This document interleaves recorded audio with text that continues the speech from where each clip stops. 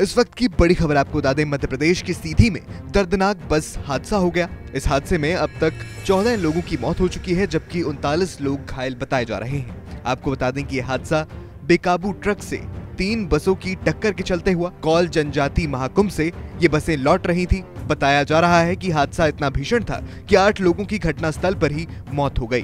तो इस वक्त की बड़ी खबर आपको बता दें, मध्य प्रदेश के सीधी में ये दर्दनाक हादसा हुआ है।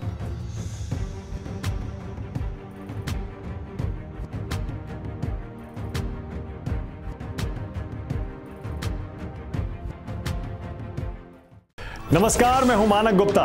अगर आपको हमारा ये वीडियो पसंद आया हो तो इसे लाइक और शेयर ज़रूर करें। और हाँ हमें सब्सक्राइब और फॉलो करना ना भूलें, ताकि आप देश और दुनिया की कोई खबर मिस ना करें।